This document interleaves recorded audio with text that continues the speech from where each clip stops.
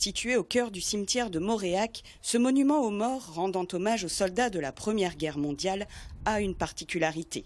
D'après les recherches effectuées par Christian Chaudret, il serait le premier à avoir été érigé en France. Ce que ce monument aux morts de Moréac a d'exceptionnel par rapport aux autres monuments de France, c'est qu'il a été inauguré le 4 novembre 1917, c'est-à-dire exactement, mais ça on ne le savait pas à l'époque, un an avant la fin de la guerre. Comment peut-on euh, inaugurer un monument avec la liste des morts gravés dans la pierre un an avant la fin d'une guerre totalement absurde en apparence. Une absurdité qui attise la curiosité de ce professeur d'histoire. C'est aux archives départementales du Morbihan qu'il étudie le dossier de plus près. Il est passionnant de voir que ce dossier, et notamment l'architecte choisi, c'est M. Cobert, et c'est l'architecte du diocèse. C'est un, un, dossier à l'origine religieux. Et Moréac est une étape entre les listes peintes. Dans certaines églises comme Saint-Paterne et la cathédrale à Vannes, par exemple, et Saint-Anne-d'Auray. Il y a un lien évident, c'est le même évêque, c'est la même volonté d'Alcime Gouraud, évêque de Vannes,